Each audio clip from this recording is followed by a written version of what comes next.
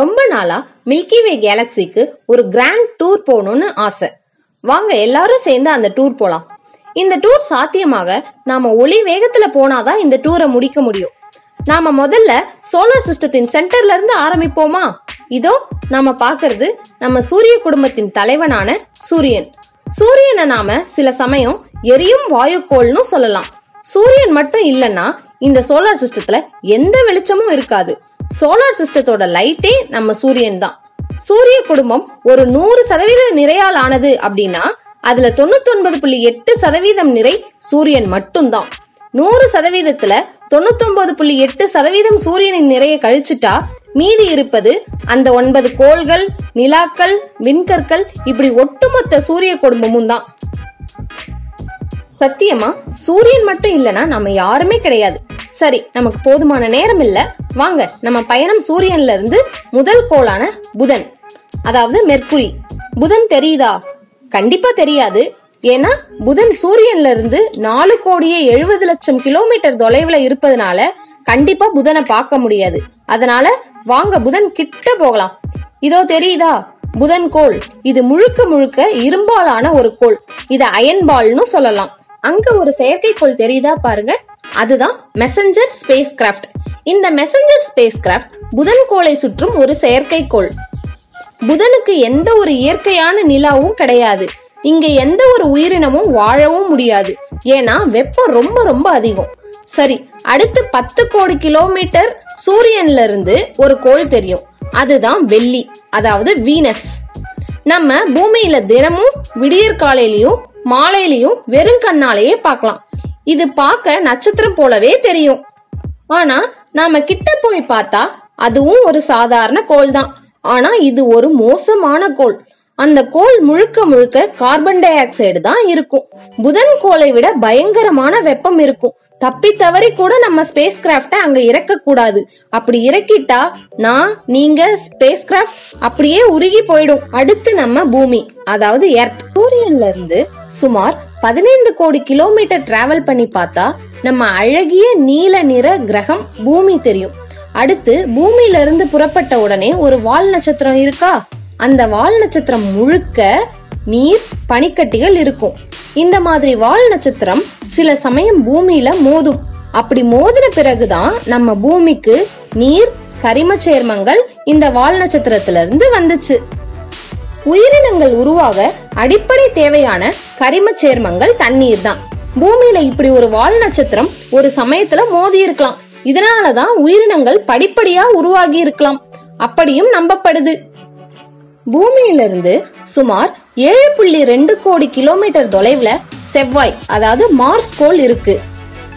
இந்த கோள் கிட்டத்தட்ட நம்ம பூமிக்கு ஒத்து போகும் ஆனா அங்க அதிகமான புழுதி புயல் எரிமலைகள் அங்க இருக்கும். அதனால உயிரினங்களை இயற்கையா வாழ அனுமதிக்காது.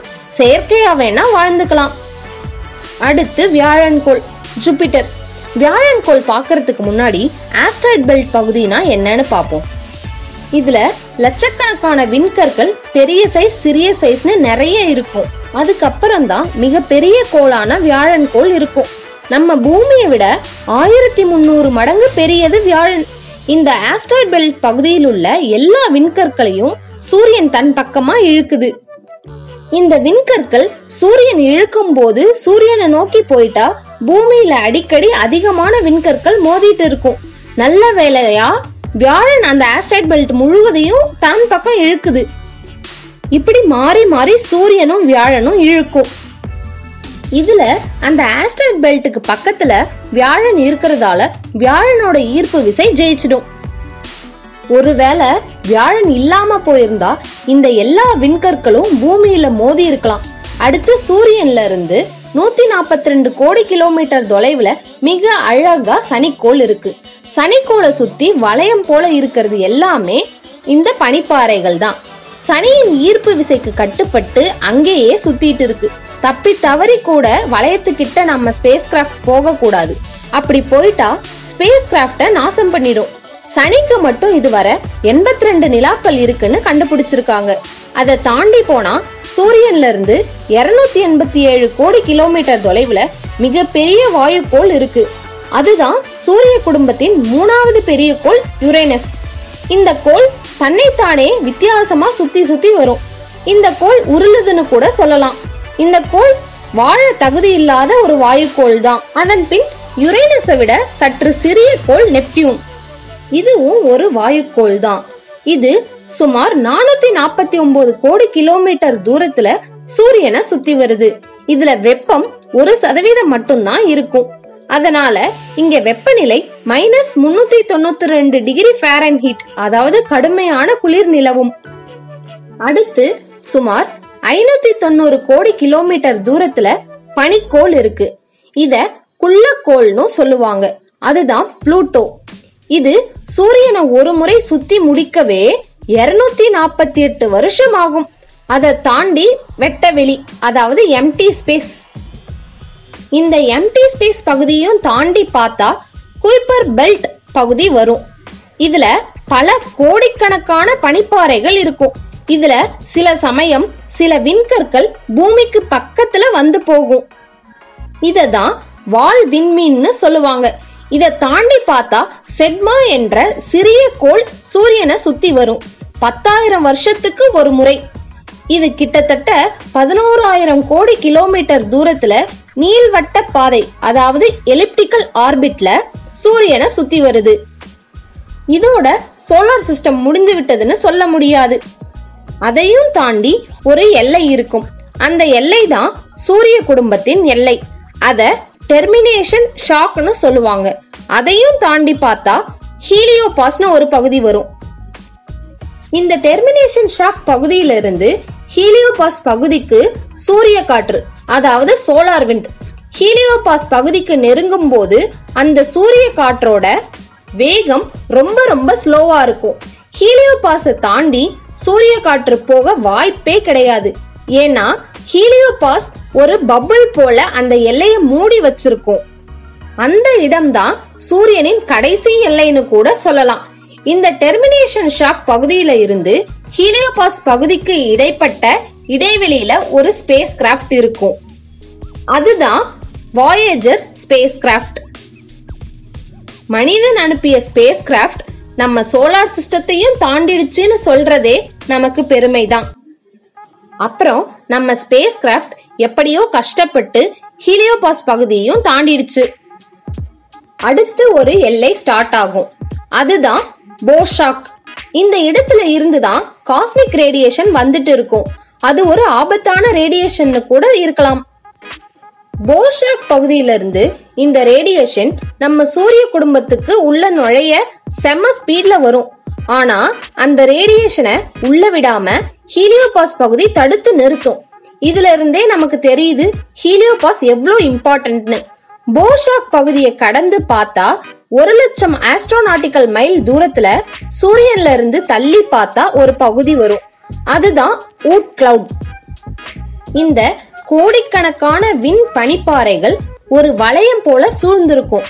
அந்த பகுதியில வெப்பநிலை முழுமையான பூஜ்ஜியம் அதாவது அப்சல்யூட் ஜீரோ ஒரு ஏயுனா பதினைந்து கோடி கிலோமீட்டருக்கு சமம். அது போல ஒரு லட்சம் ஏயு தூரத்துல இந்த ஊட் கிளவுட் இருக்கு. இந்த இடத்துல இருந்து சில சமயம் பத்தாயிரம் வருஷத்துல இருந்து பதிமூணாயிரம் வருஷம் பயணம் செஞ்சு சில பனிப்பாறைகள் சூரியன் பக்கம் வரும். அப்போ அந்த பனிப்பாறையை பார்த்து தான் வால் விண்மீன்னு கூட சொல்வோம். ஊட் கிளவுட தாண்டி பார்த்தா ஒரு ஸ்டார் இருக்கும். அந்த ஸ்டார் தான் ஆல்பா சென்டாரி ஸ்டார் சிஸ்டம். சூரியன்ல இருந்து நாலு புள்ளி மூணு ஒளியாண்டு தூரத்துல இந்த ஸ்டார் இருக்கும். சூரியன்ல இருந்து சுமார் நாற்பது லட்சம் கோடி கிலோமீட்டர் தூரத்துல இந்த ஸ்டார் சிஸ்டம் இருக்கும். இங்க மூணு ஸ்டார்ஸ் ஒன்னு ஒன்னு சுத்தி வருது. அதுல பிராக்சிமா சென்டாரி ஸ்டாருக்கு ஒரே ஒரு பிளானட் இருக்கு. அந்த பிளானட் வாழ தகுதியற்றது. அடுத்து இந்த பால் விதியில நிறைய நட்சத்திரம் இருக்கு. அது ஒவ்வொன்றுலையும் பார்த்தா கிட்டத்தட்ட நாற்பதாயிரம் கோடி நட்சத்திரம் பார்க்க வேணும் ஒன் பை ஒன்னா அதனால சில முக்கியமான நட்சத்திரத்தை மட்டும் பார்க்கலாம். ஆல்பா சென்டாரிய தாண்டின பிறகு நாம பார்க்க போறது பத்து புள்ளி அஞ்சு ஒளியாண்டு தூரத்துல இருக்கிற எப்சிலான் எரிடனி.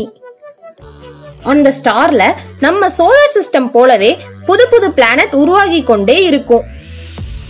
இது ஒரு இளம் நட்சத்திர மண்டலம். இந்த ஸ்டார் ஒரு பிளானட் ஆர்பிட் ஆகுது. அது எப்சிலான் பி இது கிட்டத்தட்ட வியாழன் சைஸ்ல இருக்கும். இது ஒரு வாயுக்கோள் வாழ முடியாத கோள். அதை தாண்டி பார்த்தா முப்பத்தி ஆறு புள்ளி ஏழு ஒளியாண்டு தூரத்துல ஒரு ஸ்டார் இருக்கும். அதுதான் ஆர்க்டுரஸ் என்ற நட்சத்திரம். சூரியன்ல இருந்து சுமார் முன்னூத்தி முப்பது லட்சம் கோடி கிலோமீட்டர் தூரத்துல இருக்கும். அதன் பிறகு பல நட்சத்திரங்களை கடந்து ஒரு இருபத்தெட்டாயிரம் ஒளியாண்டு அதாவது ஒரு ஒளியாண்டு என்பது சுமார் ஒன்பது லட்சம் கோடிக்கு சமம். அப்போ இருபத்தெட்டாயிரம் ஒளியாண்டு என்பது கிட்டத்தட்ட ரெண்டு லட்சத்து ஐம்பத்தி ரெண்டாயிரம் லட்சம் கோடி கிலோமீட்டர் தூரம். போனா நம்ம மில்கிவே கேலக்சிக்கு சென்டர்ல ஒரு சூப்பர் மேசிவ் பிளாக் ஹோல் தெரியும். அந்த பிளாக் ஹோலை தான் இந்த நாற்பதாயிரம் கோடி ஸ்டார்ஸும் சுத்தி சுத்தி வருது. அந்த பிளாக் ஹோல் பயங்கரமான ஈர்ப்பு விசை கொண்டது. ஒரு குறிப்பிட்ட தூரத்துக்கு அப்புறம் ஸ்டார்ஸே தெரியாது. முழுக்க எம்டி ஸ்பேஸ் கண்ணு கெட்டின தூரம் வர எம்டி ஸ்பேஸ் தான் இருக்கும். அப்படின்னா இது எந்த இடம்னா நம்ம கேலக்சியான மில்கி வே கேலக்சியோட எண்ட் அதுக்கு அப்படியே நேர் எதிரில் எந்த ஸ்டார்ஸும் இருக்காது. சைடில் சில ஸ்டார்ஸ் தெரியும். பின்னாடி பார்த்தா பல கோடி ஸ்டார்ஸ் தெரியும். ஆனா நம்ம சூரியன் எங்க இருக்குன்னு கண்டுபிடிக்க முடியாது. இந்த நாற்பதாயிரம் கோடி நட்சத்திரத்துல. அப்படியே நம்ம கேலக்சியோட எல்லையில இருந்து ஒரு ஒளி தெரியும். அந்த ஒளி மங்களா தெரியும். அதுதான் நம்ம மில்கி வே கேலக்சி போல இருக்கிற பக்கத்து கேலக்சியான ஆண்ட்ரோமேடா நம்ம கேலக்சியில இருந்து சுமார் 25 லட்சம் ஒளியாண்டு தூரத்துல இருக்கும். இது கிலோமீட்டர்ல சொல்ல என்னால முடியல. இந்த கேலக்சிலையும் ஸ்டார்ஸ் இருக்கும் பிளானட்ஸ் இருக்கும். ஒருவேளை சில வேற்று உயிரினமும் இருக்க வாய்ப்பு இருக்கலாம்.